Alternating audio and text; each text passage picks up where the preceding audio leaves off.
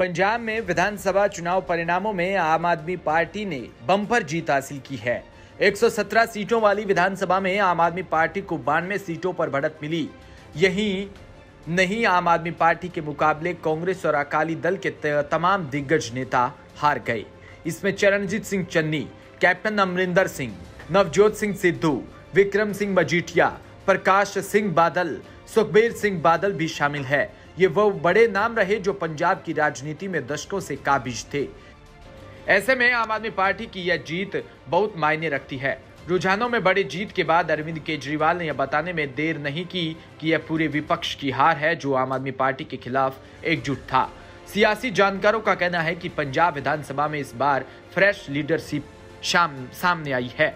भगवत मान भी पहली बार विधायक बनकर विधानसभा पहुँचे और पहली बार विधायक बनने के साथ ही पहली बार मुख्यमंत्री भी बनने जा रहे हैं। वहीं पंजाब में जीत के बाद अरविंद केजरीवाल ने समूचे विपक्ष पर तीखा हमला बोला।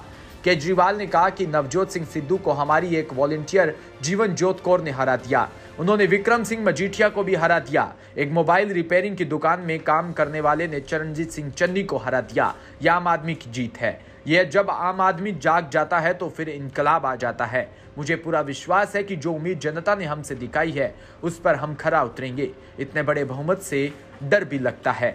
हमारे ऊपर लोगों ने जो उम्मीद जताई है, उसे पूरा करना होगा। अरविंद केजरीवाल ने आगे कहा कि मैंने कार्यकर्ताओं से कहा था कि अरविंद केजरीवाल पर कोई कुछ भी कहे, आपको जवाब नहीं देना। मुझे कहा गया कि मैं काला हूँ, अंग्रेज़ हूँ, गालियाँ दी गई, लेकिन मेरी आप लोगों से अपील है कि हम इसका जवाब वोट से दें। दिल्ली के सीएम और आप सुप्रीमो ने कहा कि हमारे ऊपर ज़्यादा ज़िम्मेदारी आ गई और पूरी गंभीरता के साथ हमें लोगों की सेवा करनी है। वहीं केजरीवाल ने कहा कि बहुत बड़ी ताकतें मिलकर आज देश को आगे बढ़ने से रोकना चाहती है।